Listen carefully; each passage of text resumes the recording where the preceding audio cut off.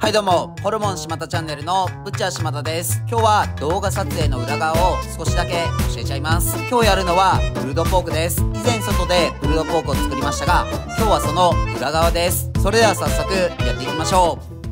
今日はこの豚の肩ロースを使ってプルドポークを作ります。実は明日は外でバーベキューの撮影でプルドポークを作る予定なんですよね。そのためにスパイスをしっかりと馴染ませるために前日から準備をしておく必要があります。明日は別なお肉で外での味付けのシーンをとって今日仕込んだお肉と差し替えます。それを踏まえて前回のプルドポークを見てもいいかもしれません。誰一人途中で肉が入れ替わったことに気づいてなかったので映像って面白いですよね。プルドポークについての詳しい情報は以前の動画をご覧ください。動画でも言いましたが、可能なら一晩とかスパイスをなじませておいた方が美味しく仕上がります。まずは肉に塗るラブを作ります。パプリカパウダー、ブラウンシュガー、ブラックペッパー、塩、ガーリックパウダー、オニオンパウダー、セロリシード、カイエンペッパーをよく混ぜ合わせます。この混ぜ合わせたラブを肉にすり込んで注入していきます。まんべんなく塗り残しがないようにしっかりとすり込みましょう。それではこのお肉を一晩冷蔵庫で寝かせて明日の外でのバーベキューに備えます。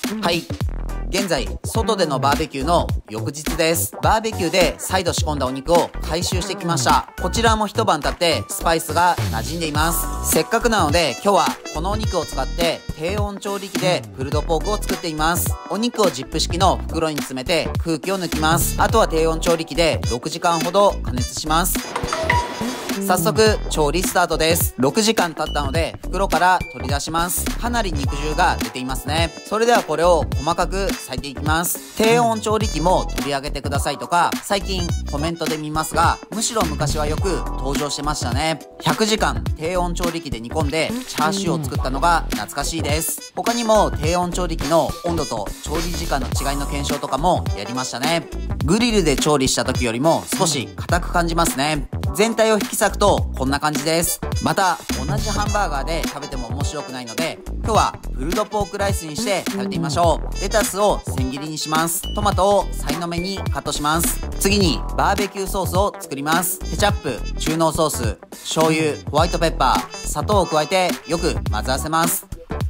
次にボウルにマヨネーズニンニクオリーブオイルブラックペッパー塩を加えてよく混ぜ合わせます。お皿にターメリックライスを乗せて、レタス、トマト、肉を乗せて、ピクルスを添えて、バーベキューソース、マヨネーズソース、シラチャーソースをかけて完成です。それでは早速食べてみましょう。いただきます。今日はイタリアを代表するファーマーブリュワリーのバラデンのポップを飲んでみましょう。バラデンは原材料の95%を自社で栽培するファーマーブリュワリーでイタリアで初めて自国産原材料100%でビールの醸造を行いました。ポップはアメリカンペールエールのスタイルで口を近づけるとオレンジのようないい香りを感じます。何かが突出しているわけではなく全体としてバランスが取れています。後味はフルーティーで程よく苦味もあって爽快です。それではプルドポークライスいただきます。ターメリックライスをインディカ米にしたのが正解ですね。ソースとよく絡みます。好みもありますが、肉は個人的にはグリルで焼いた方が香ばしさもあって好きですね。バーベキューソースのケチャップの酸味、マヨネーズソースのニンニクのパンチ、シラチャーソースの甘辛さ、豚肩ロースのラブで味付けされた旨味が一口に凝縮されています。ご飯にのせて食べるとしっかりと肉がおかずになりますね。